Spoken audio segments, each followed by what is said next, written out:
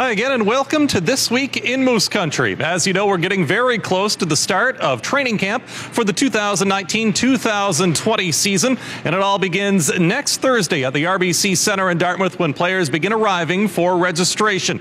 You can check out the full details and camp schedule online at halifaxmooseheads.ca. When you're at camp, you're going to see a new face on the bench this year. Alex Ryan has been hired for the Moose to take over as the head equipment manager.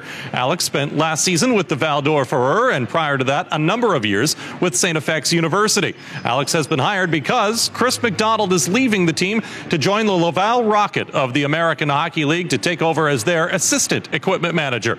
Of course, Macker has been a fixture with the Mooseheads for several years now, and we want to wish him all the best as he continues his career in the professional ranks. Now, behind the scenes, there is another new face in Moose Country. Ryan McDonald has joined the team as the assistant group and ticket sales manager and is based out of the official Moosehead shop in Scotia Square Mall. We're happy to have Ryan join the team. You might remember him as an intern from the Memorial Cup, and we're happy to have him on a full-time basis now with the Halifax Mooseheads.